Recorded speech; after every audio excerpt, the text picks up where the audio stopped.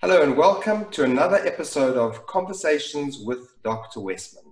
Today is an exciting one because we're going to be talking about Dr. Westman's new book called End Your Carb Confusion. And uh, just for those of you who don't know, we've been working on this book for quite some time, um, so we are tremendously excited about it. And um, Eric, what are your thoughts on, on uh, the book coming out? Hopefully, I think the, the release date is the 1st of December, around the corner. Yes, and I'm really excited about it. Um, you know, have you wondered why some people can eat some foods and others can't? You know, well, that's so exactly, that, that's exactly why we why, do this. Why can my brother eat all of that fruit and I can't, right? Or so this is that's what we'll get into. Exactly. So you know, you've written quite a few books. You've written quite a few books specifically on the topic of keto and low carb. Yet, um, as you've just alluded to now, this one is um, quite different. Uh, maybe you can just give us a little bit of why this book is a little bit different to some of the other books that you've written. Right. Well, so I've been involved in books that are for medical people. That's the the textbooks that I've helped to write and edit, and I, have written many research papers. And that's a different skill uh, getting involved with the New Atkins for a New You, there were three of us who worked with a team, and and it was really kind of the Atkins flavor of how to do things. But I am an author on the New Atkins for a New You. Of course, it's now 10 years old. It was published in 2010, um, and then I helped with the medical credibility with several books that Jimmy Moore wrote for the most part. Um, these were this is more the style I'm interested in. It's the uh, easy uh, to understand, simple language, uh, uh, not for medical people. That so what I have done is teamed up with a professional writer. Amy Berger is the co-author with me on End Your Carb Confusion, and so we work together on the content, and she wrote most of the detail to make it understandable. Uh, so it's a blend uh, of of the just a little it's more so in the past i've done lots of science heavy science easy on the you know how to communicate it. This one is really almost 100% how do we communicate this clearly to a, a broad range of people not just keto friendly people. Uh, and uh, i don't we don't even have a, a reference a scientific citation in it because we thought that would be too distracting. Now, I know that um, something that's pretty big in this book, um, and we'll get into it a little bit later, um, but I know that there's a term metabolic flexibility, and I know that that is um, the premise of what this book is about metabolic flexibility. Can you just elaborate on, on that a little bit? Well, you know, haven't you wondered uh, why, you know, for me, it's in, even in my family, uh, one brother could be eating tons of carbs and was very active and and uh, another family member couldn't uh, or you look just around how can some people be eating certain foods and they, they appear to be healthy so there is this metabolic flexibility and it has to do with how we handle carbohydrate so that's where our research comes to bear and the, it's the general consensus now that the major factor that has to be controlled for some people is carbohydrate, the sugars and the starches, not the fat that we've been taught for so long. But I hope this will help people understand why, you know, just what they're observing, uh, uh, that why some people can eat some things and be healthy. And, and at the other extreme, why some people might be unhealthy uh, and they don't know that it's because they're having too many carbohydrates. So we, we help people uh, target, you know, roughly target where their level is. Of course, the results will tell you if that was the right match for you. But metabolic flexibility is huge, and it has to do with sugar, blood sugar, insulin, and how your body responds to that. And um, one thing I can tell you for sure is that there's, um, you know, keto's exploded onto the scene, and there's a lot of you know confusion out there. Um, there's there's um, dirty keto and lazy keto, and, uh, and, actually, quite frankly, a lot of the science is, is, is, outdated. There's a lot of new science that's been written. So, um, along with all this, um, you know, confusion out there, um, why will this book clear up the confusion? Right. Uh, well, it's the title, End Your Carb Confusion.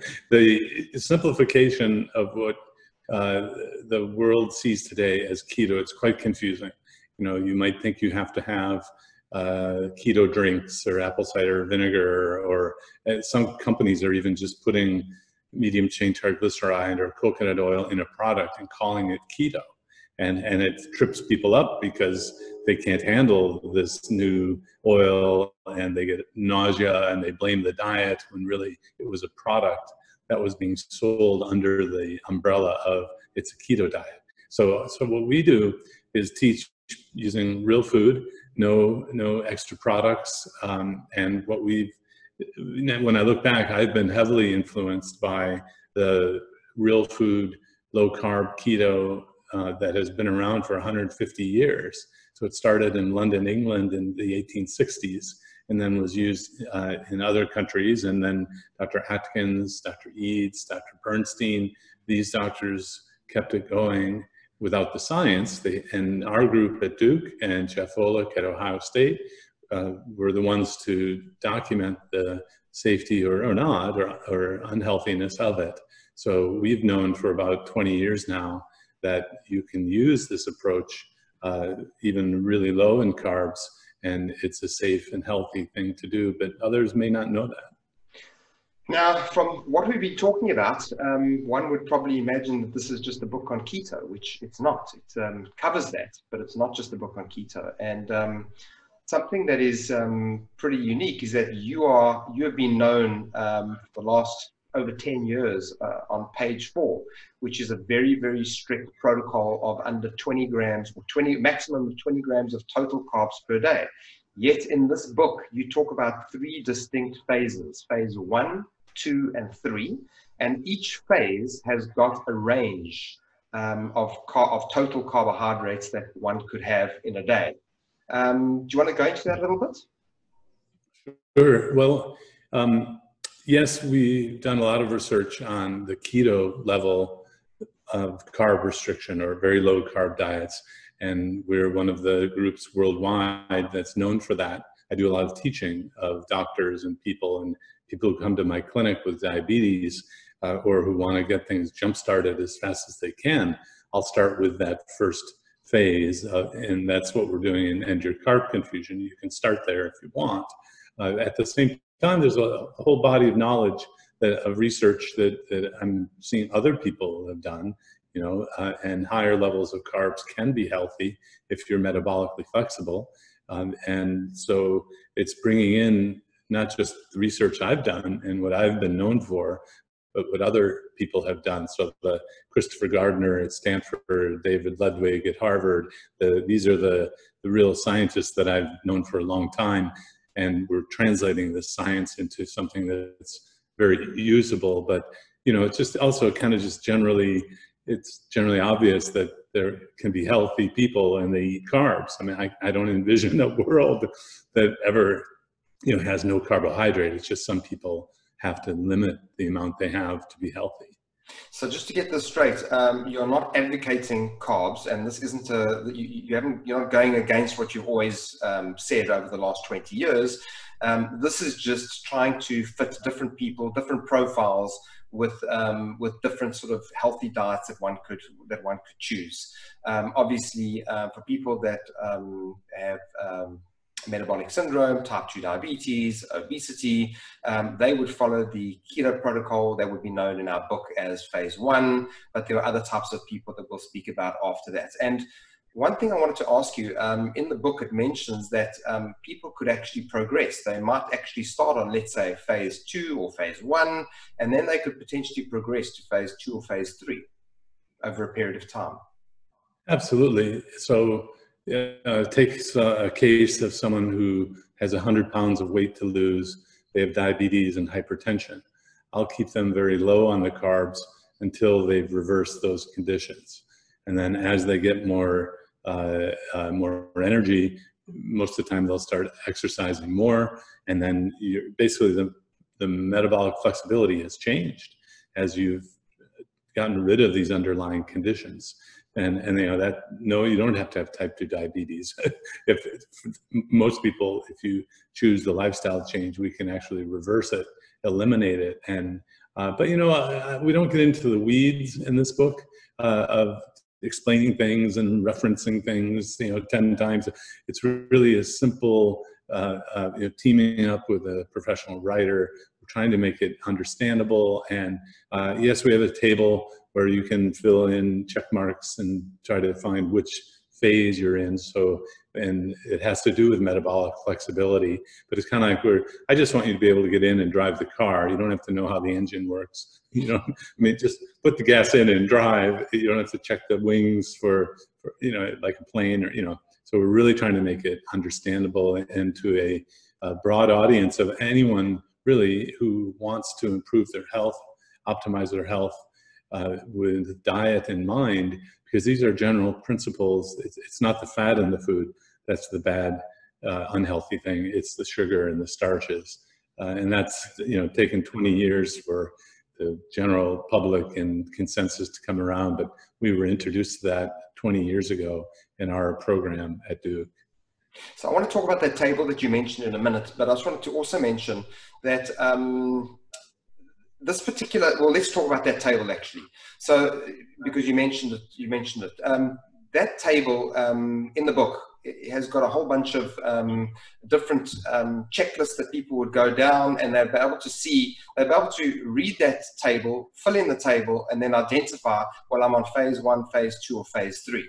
And I also want to add, before you answer that question, is um, maybe by the, by the sound of what we've been, how we've been bringing this across, uh, nothing in this book is a high carb diet. It is all considered, even at phase three, it's still considered a low carb diet, but it's not a, a ketogenic diet, which would be under 20 grams of carbs, of total carbs. So just back onto that table now, there's a checklist there. Um, how did you come to, to putting that checklist down to be able to help people identify which particular phase they would fit into? Yes, uh, so bringing together the research of uh, not just our groups, uh, the you know keto, low, very low carb, but the moderate, and uh, yeah, so how you define things depends on where you've come from. Our maximum limit of carbohydrate would be seen as low for someone who has been eating high carbohydrate, but we've we defined that in a paper um, I was first author on back in 2007 so that anyway we, the, these definitions are out there but the perception may be that it's low in carbs but we focus on the type of carbohydrate a lot. So we're bringing in the glycemic index the glycemic load kinds of if you've heard of those terms um, into the larger uh, book because uh, there is good research showing that if you have some metabolic flexibility that these other approaches can be very healthy to do. So in this table if you and so it's kind of like uh, my approach in the clinic. If you have diabetes, high blood pressure, PCOS, uh, some other chronic medical condition that uh, the medical mainstream folks haven't been able to fix. Remember, we, we can fix heartburn, you know, in three days, and and there are people who've been, you know, given procedures and all this for a simple condition that just changing the carbs can fix. Uh, and then, depending on your uh, athletic ability and you know and tendency. I have a brother who grew up wanting to run, play basketball, and and all this, and, and I tend toward to to be the bookworm, you know, not doing all those things. That's important, and that even gets into the genetics of what's going on behind the scenes here. Uh, so, and then age and uh, whether your uh, your hormonal status, if you're postmenopausal or not, these are all important factors that um, lend to metabolic flexibility. And metabolic flexibility, in a nutshell, is going back and forth between sugar burning or glucose burning and fat burning.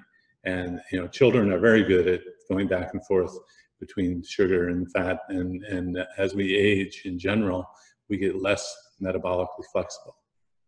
What I love about this book is that um, anybody can read the book. I can read this book. I can I can go through the table, and uh, while somebody, let's say my wife, uh, might fit into phase one, I might fit into phase three. So everyone is unique, and I think that's unbelievable because it gives one um, an ability to be able to to to live the healthiest life that they possibly can uh, just by answering you know some of the, the, simple questions on that table so very excited well, in my experience that that might cause a little friction with couples and family but that's the reality is that we have different genetics different uh, metabolic flexibility and uh, you know the more we can uh, match target the food and it has to do in, in, this book with the carb level The more we can match that to people. I think in general the healthier and happier people will be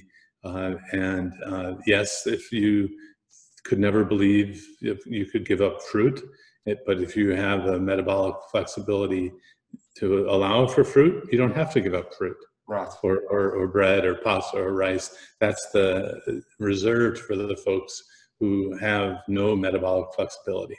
Right, I'm with you. Um, something that I love in this book as well is that there is an analogy, um, and it's also very unique and, and specific to this book, and it's called the sound modulator. And it includes things that you are not typically known for. So, for example, you've got stress, you've got food quality, you've got exercise, you've got sleep. These are things that you are not typically known for because you're treating people for metabolic related illnesses in your in your clinic.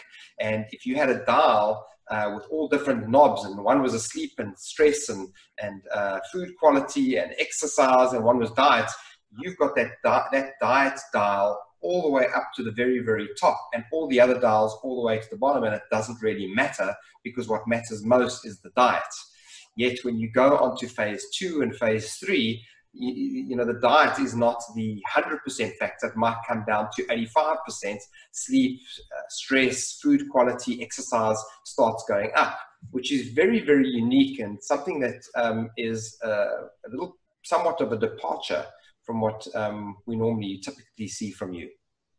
Well, uh, understanding where I'm coming from in a clinical setting where most of my people, patients, clients need the first phase, they need the very low keto carb restriction.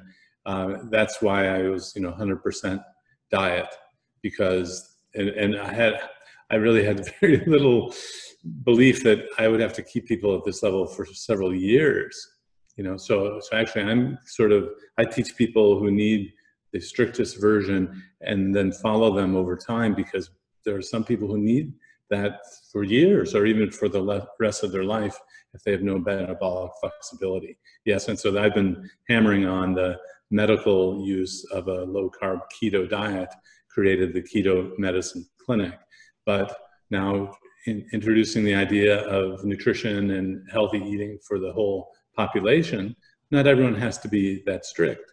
And so one of the undercurrents here is that we want this to be widely read by people who, you know, are, are scared about keto that, or they don't know, or they don't, you know, they can't imagine giving up fruit or bread or pasta or grain. You know, the, you can eat those things if you have that metabolic flexibility. But we're going to be honest and, and have you learn that you might not be able to have that if you're not metabolically flexible. So, um, yeah, the um, the teaching, the research that we've done is really has been for the medical world, medical use. Uh, but you know, not that there's anything wrong with that. I mean, it, it's kind of uh, surprising to me that the more we study a keto diet, just a fat burning diet, the better it looks over time. Uh, but not everyone has to do that.